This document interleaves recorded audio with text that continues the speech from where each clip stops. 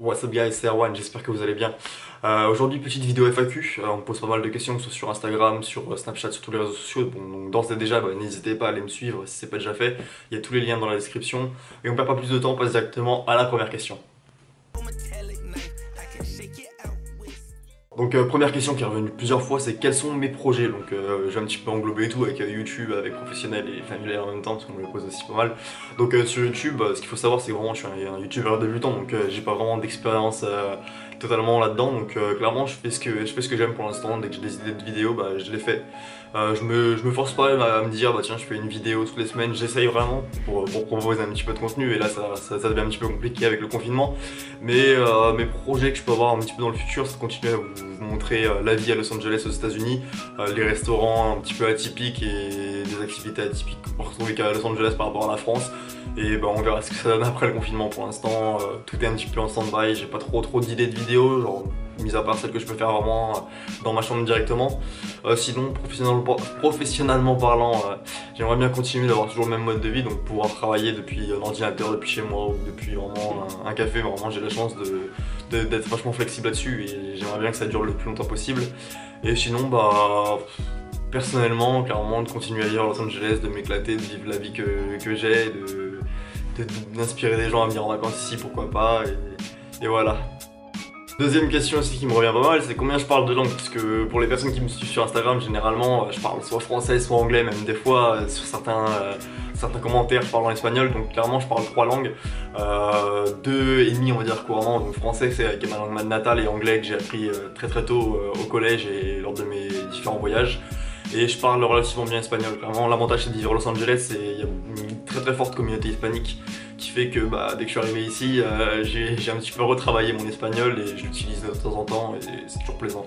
Sinon un petit peu j'ai des petites bases euh, de taille de, de malais, j'ai vécu là-haut maintenant, je pense que je suis totalement rouillé.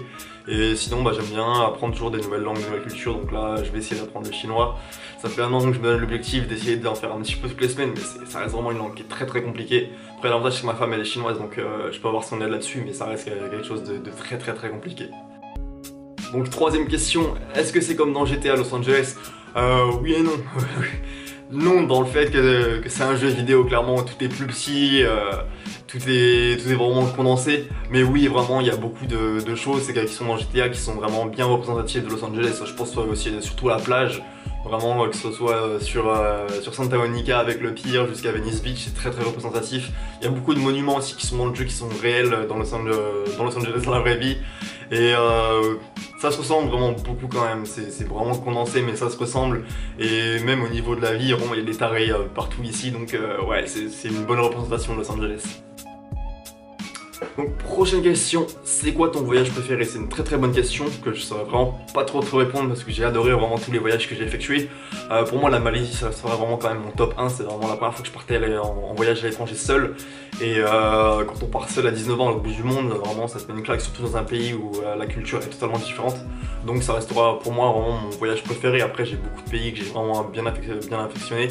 Euh, Il y a la Thaïlande que j'ai beaucoup adoré vraiment. Bah, dès que je suis en Malaisie, j'ai la chance euh, que la Thaïlande c'est juste à côté, donc j'y suis allé. Je suis parti euh, pendant une semaine à Krabi, à Onang, et vraiment c'était cool aussi. Vraiment la plage, il fait 40 degrés, euh, l'eau très très chaude, vraiment c'est très paradisiaque. Et plus récemment, un voyage que j'ai beaucoup aimé, bah, c'est au Portugal avec euh, ma femme dès qu'on s'est rencontrés. Et c'était la première fois que j'allais au Portugal. On est parti à Lisbonne pendant une semaine et vraiment, je suis tombé vraiment amoureux avec ce pays. Vraiment, les Portugais, c'est des gens très très gentils, euh, que ce soit même au niveau de la culture, euh, la bouffe. Vraiment, c'est un pays que j'adore et il me tarde d'y retourner. Vraiment, je sais que j'y retournerai à un moment ou à un autre. Et plus récemment, un endroit que j'ai bien aimé aussi, c'est Columbus dans l'Ohio. C'est un, enfin, l'Ohio, c'est un état aux États-Unis. Je suis pas, je suis parti au mois de février euh, voir un ami pendant 4-5 jours et j'ai vraiment adoré. C'est très différent de Los Angeles dans, en tout point. Vraiment, c'est l'opposé des États-Unis 4h30 de vol. C'est à plus de 3000 km et vraiment c'est totalement différent et j'avais pas encore cette, euh, perspective que, tous les États-Unis c'était pas que Los Angeles et vraiment ça m'a fait une très très bonne surprise et pareil vraiment j'espère y retourner euh, rapidement parce que c'est vraiment super cool. Donc on enchaîne avec la prochaine question. Est-ce que je préfère la France ou les États-Unis? Ah ça c'est vraiment une question qui est très tricky. Euh, clairement maintenant que ça fait deux ans que, je suis j'habite aux États-Unis, pour moi, vraiment, je préfère les États-Unis. C'est un mode de vie qui me convient mieux, une mentalité qui me convient mieux. Euh, j'ai vraiment beaucoup de mal avec la France. Je suis fier d'être français, il n'y a pas de souci là-dessus. Mais vraiment, arrivé à un moment donné, je me suis dit vraiment, fallait que je m'ouvre à d'autres horizons et que j'allais voir c'est quoi la vie ailleurs. Et vraiment, je suis pas déçu. À l'heure actuelle, franchement, la, France, ça manque quand même. Il y, a plusieurs aspects qui me manquent, comme quoi. Euh, enfin surtout au niveau des, soins. Euh, le, fait de pas avoir de soins remboursés ici, c'est compliqué vraiment, donc euh, tu vis différemment, tu peux pas aller faire du skate ou autre chose et se dire ah, bah c'est pas grave si je me pète un bras, bah c'est la vie, je vais à l'hôpital, ils vont me soigner, ça va être gratuit ici, c'est super différent. Euh, sinon ce qui me manque aussi de la France, c'est la bouffe. La bouffe c'est vraiment le point qui, me ferait vraiment retourner en France de temps en temps. vraiment la bouffe aux États-Unis elle est pas très bonne et c'est très très compliqué de, trouver on va dire à des prix abordables de la nourriture de qualité. Et c'est vraiment les deux points qui, manquent de la France, mais je préfère quand même les États-Unis. Je me vois plus dans le futur euh, aux États-Unis. Euh, c'est un pays que, j'affectionne énormément. Il y a peut-être euh, beaucoup de choses, on va dire, mauvaises par rapport à ce pays-là, surtout au niveau des armes à feu et autres, mais ça reste un pays qui est vraiment super cool. Vraiment, les gens sont adorables. Quand t'es bosseur ici, bah, il n'y a pas de limite, il n'y a pas de jalousie, on va dire, à la réussite. Et vraiment, c'est une mentalité que, que j'affectionne et que j'espère continuer à vivre très très longtemps. Une nouvelle question, est-ce qu'il faut être riche pour vivre aux États-Unis euh, je, pense que c'est assez similaire de la France, clairement. Moi, je, de France, je viens d'une petite région euh, en Bourgogne, je viens, je viens d'Auxerre, et euh, le logement, vraiment là-haut, c'est pas cher du tout.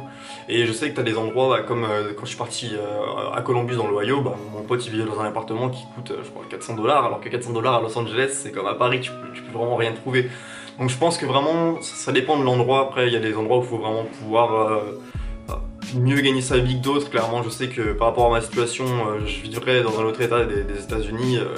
Avec ma femme, on aurait beaucoup plus de facilité. On n'aurait pas un loyer déjà quasiment 2000 balles à payer tous les mois.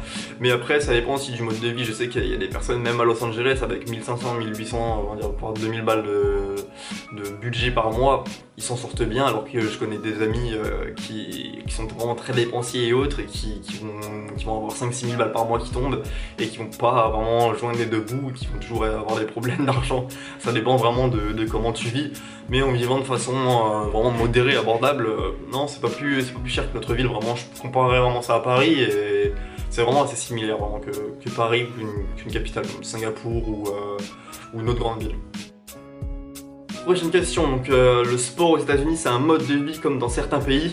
Euh, de ce que je ressens, euh, surtout en Californie, ouais, vraiment le sport c'est ça fait partie de la culture. Vraiment, il y a le culte de la beauté. Les gens vont, il y a beaucoup de gens qui vont en salle de sport. C'est qui sera le plus beau. Les gens veulent tout, cette fille, tout être musclé. Vraiment, c'est c'est vraiment ancré dans la culture, je pense californienne. Et sinon même au-delà de ça, vraiment, il y a les, sports comme le basket. C'est vraiment un basket, baseball à Los Angeles, c'est super connu. Et vraiment, c'est, je pense que c'est similaire comme en France, dans, les villes où il y a vraiment des, très gros clubs. Donc je pense vraiment surtout au niveau du foot, du basket, du jeu rugby. Et c'est assez similaire, mais vraiment de ce que je ressens euh, en Californie, c'est pas vraiment le cliché des Américains qui sont tous gros, qui sont tous en mode euh, manger du McDo par-ci par-là. Vraiment, euh, à Los Angeles, en Californie, je dirais que les gens font relativement attention même au niveau des magasins. Il y a pas mal de, nourriture bio, il y, il y a de la malbouffe mais euh, ça se ressent pas tellement que ça, vraiment, c'est comparable pareil encore, encore une fois à Paris, mais vraiment ouais, le sport c'est vraiment, c'est ancré dans la culture américaine je pense. Donc prochaine question, une différence culturelle qui t'a surprise entre la France et les États-Unis. Euh, la, différence culturelle qui, qui tape le plus quand t'arrives ici, c'est vraiment que en France, on utilise le, système métrique, alors qu'aux États-Unis, tout est différent, que ce soit pour les mesures, les poids, les tailles. Euh, vraiment, tout est différent de la, France et de l'Europe, quasiment même du reste, du reste du monde. Donc, euh, c'est assez cocasse vraiment dès que je suis arrivé ici. Euh, quand j'ai commencé un petit peu à faire de l'acting et autres, on m'a demandé quelle taille je faisais, quel poids, alors qu'en France, on va dire, je fais 1m82. Ici, il faut convertir en feet, donc je fais 5 feet 11, voire 6 feet. Et tout est différent, même pour aller commander de, la viande dans les magasins. Bah, en France, t'as l'habitude, t'arrives, tu fais, je voudrais genre 2 kilos de, 2 kilos de bœuf ou, enfin, pareil, tout en kilos. Alors que ici, c'est en pounds pour le poids, donc toujours en train de, calculer dans la tête, même après deux ans de, vie aux États-Unis, je suis toujours à, essayer de, convertir, euh, on va dire, euh, les systèmes de mesure euh, français et américains. Et je pense que vraiment, c'est la plus grosse différence pour moi culturelle qu'il y a entre les deux pays. Bon, je pense qu'on a déjà fait pas mal le tour au niveau de, des questions sur les États-Unis. Il une question que que je peux pas répondre clairement en, une petite FAQ comme ça, c'est euh, comment j'ai fait pour m'expatrier aux États-Unis. Donc là, je vous prépare une prochaine vidéo où euh, je parle vraiment du sujet total euh, de comment j'ai fait pour m'expatrier parce que c'est pas quelque chose que je peux expliquer en une ou deux minutes, c'est vraiment assez compliqué. Donc j'en ferai directement une vidéo totale par rapport à ça. Donc prochaine question, j'ai combien de tatouages? Donc à l'heure actuelle, j'en ai que je compte?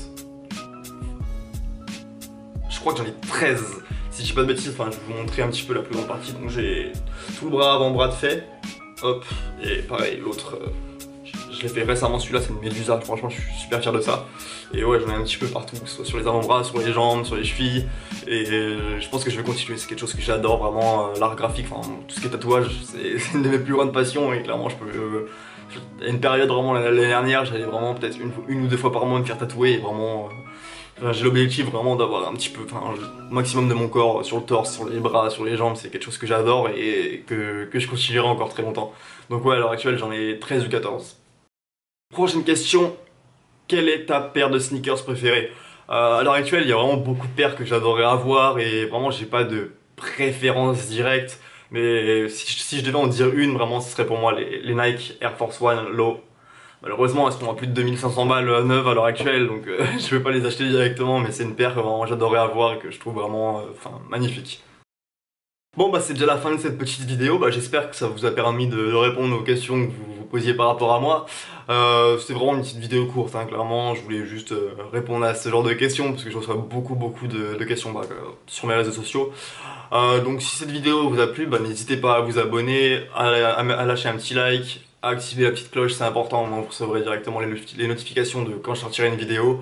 Si vous avez des recommandations, bah, n'hésitez pas directement, à mon Instagram est juste ici. c'est ce que j'utilise le, plus souvent, clairement, Facebook et Snapchat, j'utilise pas des masses pour l'instant. En tout cas, c'était Erwan, on se dit à la semaine prochaine. Peace